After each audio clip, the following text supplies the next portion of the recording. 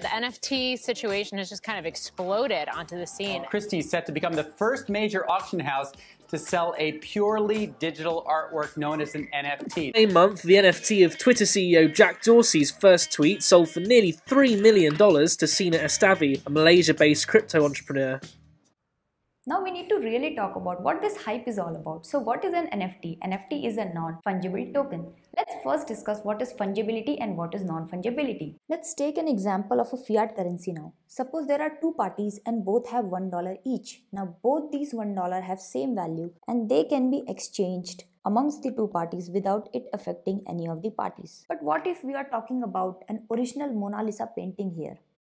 It cannot be exchanged for any other painting simply because it's unique, scarce, and irreplaceable, and as such, it holds value.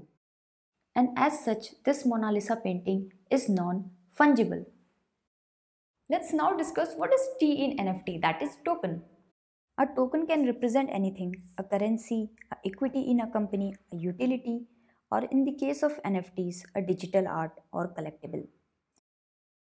Now, a token can be created by a smart contract. A smart contract is simply a program that runs on a blockchain. Now this smart contract is actually responsible for creating tokens, transferring tokens to an address and keeping track of balance of all the address.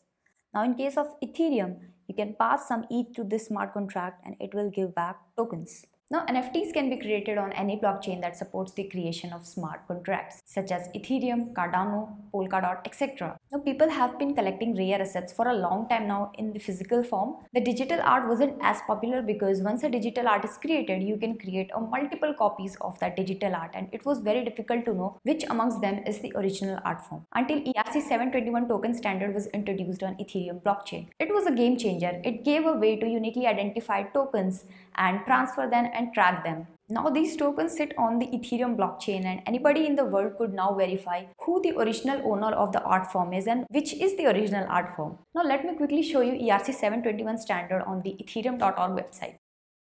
Now as you can see I am on ethereum.org website and I am on this page which is describing the ERC 721 non-fungible token standard. Now let's come to this method section and can you see this parameter token ID. This is how you will uniquely identify the tokens. Let me show you the documentation. So all NFTs have a variable called token ID whose type is UINT256 and for any ERC721 contract, the combination of contract address and the token ID must be globally unique. That means this combination of contract address and token ID is a unique combination on the entire Ethereum network. Now in ERC 721 standard, you can also specify some metadata. So basically, so suppose you are trying to store an image. So you can specify the name of the image and you can also specify the URL where the image is hosted. So that's how you can describe your NFTs on the blockchain.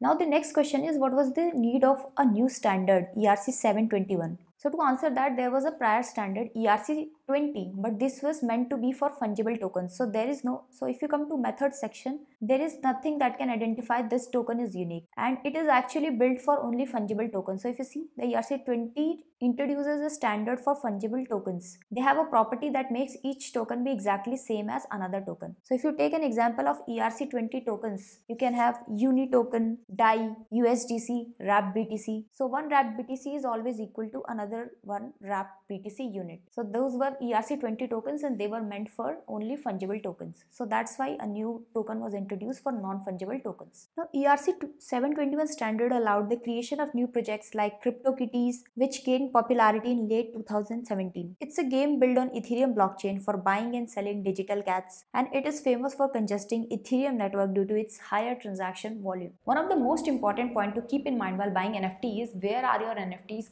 going to be stored. Now let me take you to a Medium article explaining how CryptoKitty game works and actually stores the real images of CryptoKitties. There is nothing in the Solidity contract code that stores a cat's image or its description or that determines what that 256-bit integer actually means. This is your basically token ID. So the interpretation of that is up to the CryptoKitties web server. So basically there is a centralized web server that is going to convert this 256 bit integer to actually what the interpretation of that cat is, right? So if the website is taken offline in the future, unless someone has backed up all the images, you would be left with owning a meaningless 256 bit integer. So that is the real danger of storing your NFTs on centralized web servers. Now you cannot store the NFT asset on blockchain either because you can only store the metadata since storing large amount of data on blockchain is very expensive because it is going to be replicated on all nodes and as such will cost you hundreds and thousands of dollars.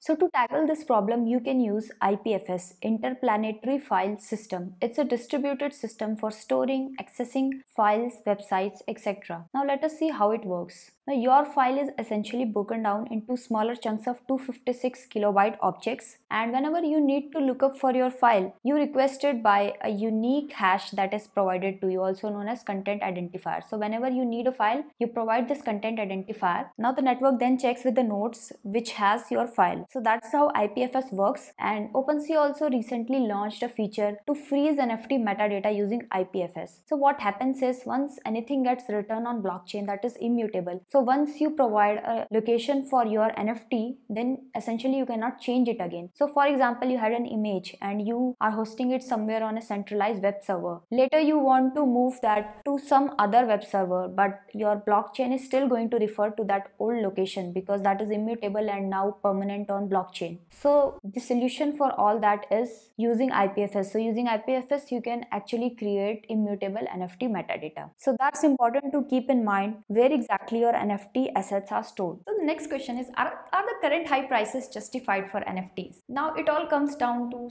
demand and supply. If people really believe something have a lot of value then it probably has. Here are the list of some very successful NFT projects already discussed about CryptoKitties, let's now discuss about other NFT projects which were wildly successful. Now first one is CryptoPunk. CryptoPunk was created by Larva Labs. It's the collection of 10,000 unique characters inspired by crypto art movement with some of the CryptoPunks now selling for as high as $1 million.